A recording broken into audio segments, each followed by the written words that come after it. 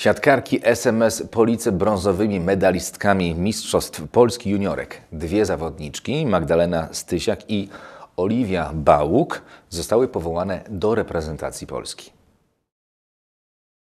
Rozgrywki finałowe ruszyły 4 kwietnia w Dębicy i trwały 5 dni. Oprócz Polic o miano mistrza walczyło 8 drużyn z Wrocławia, Mielca, Jarosławia, Poznania, Olsztyna, Legionowa i Łodzi.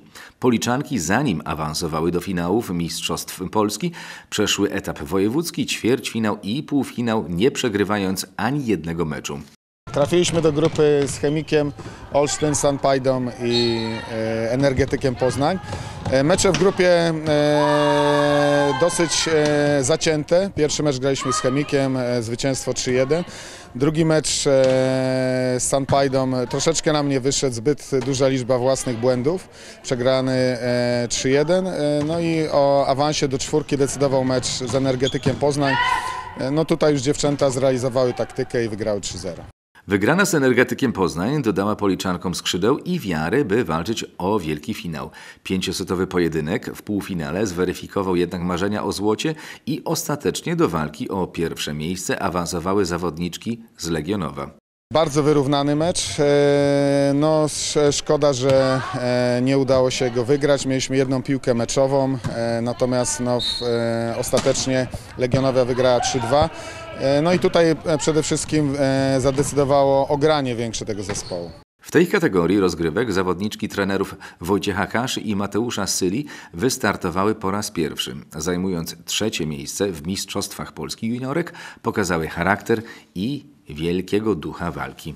Drugie miejsce w Mistrzostwach Polski Juniorek zajęła drużyna Impel Wrocław, natomiast pierwsze Legionowia Legionowo. Dodatkowo zawodniczka Szkoły Mistrzostwa Sportowego Police Magdalena Stysiak została najlepszą atakującą zawodów, a Oliwia Bałuk najlepszą zagrywającą. Obydwie zawodniczki zostały powołane do reprezentacji Polski juniorek.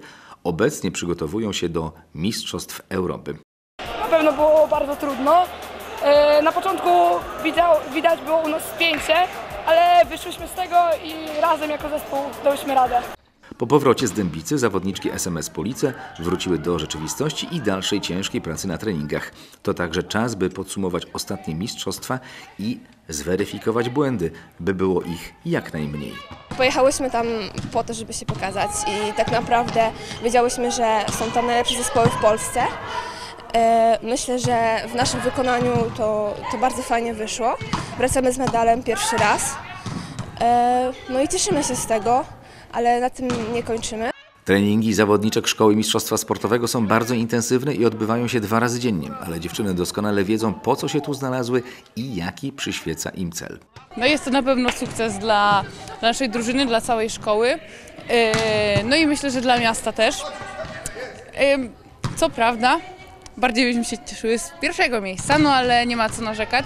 Obecnie juniorki przygotowują się do finału województwa licealiady. Kolejnym celem jest kwalifikacja drużyny do ogólnopolskich rozgrywek i zajęcie miejsca na podium. Udział w mistrzostwach był dla nich dobrą lekcją siatkówki, a zdobyte doświadczenie z pewnością wykorzystają, by zdobywać kolejne puchary.